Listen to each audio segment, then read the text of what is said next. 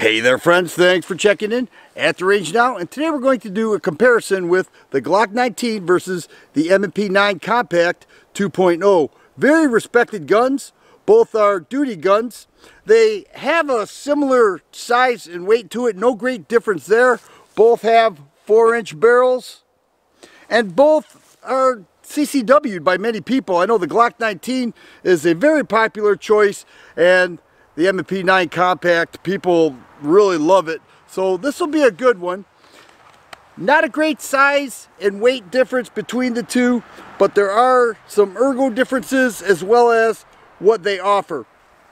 The Glock, typically more expensive, right around 530 to 550. This is a Gen 4 model. It does have additional back straps. It has night sights on it, but it comes standard with the field goal rear sight, front dot, and finger grooves, but not with the Gen 5 models.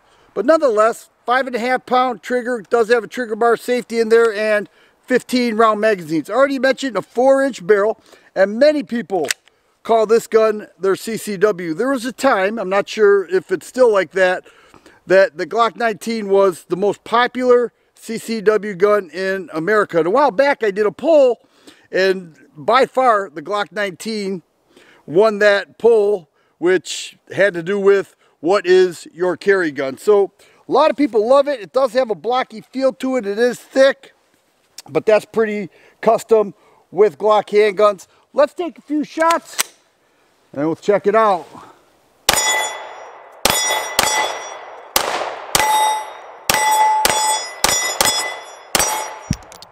All right. Known for its reliability, and in many occasions, you know, whether it's uh, super hot, super cold, buried in snow, buried in the ground, whatever the case, people love the Glock 19 and they're proud to call it their home defense gun or their carry gun or even their duty gun. Here we have the M&P 9 Compact 2.0. This is also a duty gun. You know, a lot of law departments switched over from Glocks to M&P. And the one thing I will say about this is that the ergos on it are superior to the Glock. It, it, it's also a double stack that carries 15 rounds. I have 10 loaded, but it, it just feels really nice. And it also has uh, not just back straps, but modules that go all the way around.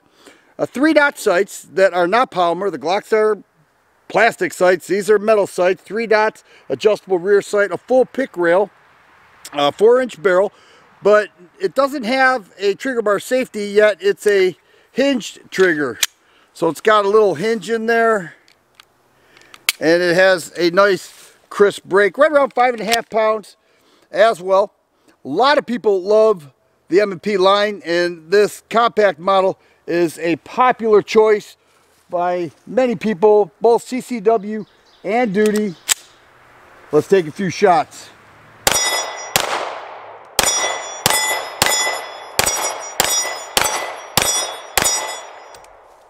All right. So which is the model you would choose? Is it the M&P 9 Compact 2.0 or is it the Glock 19? Well, I waited to shoot these side by side. I wasn't sure. I've shot both these guns several times and I've owned the Glock longer but I put my share rounds through this M&P 9 Compact and I was going to wait till I shot them next to each other to make a determination as to which one I prefer. And I have to say, after doing that, there is no great difference in my shooting impressions. You know, they, they are so similar in many ways.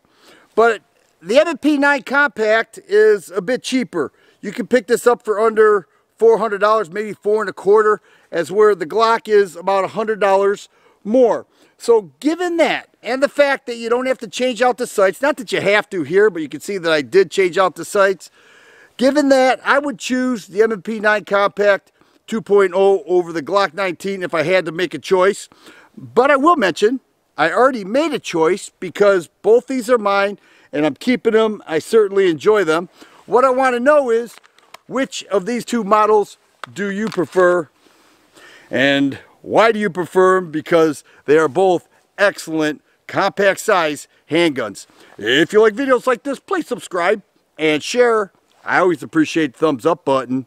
Thanks for watching, and you guys be safe.